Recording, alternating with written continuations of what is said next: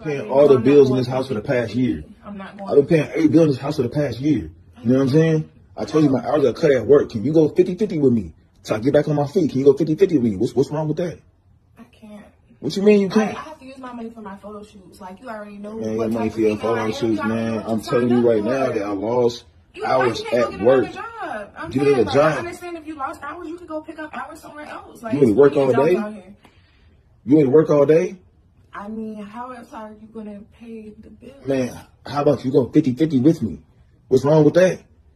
I'm telling you, go 50-50 with me for about six months to a year till I get on my feet. Once I get on my feet, then I'll pay all the bills in the house again. I've been doing this for the last past year. I know, but I just I can't. I ain't been able to save no money. You got money. So I'm telling you, let's go 50-50 on these bills. I can't. Man, I've been paying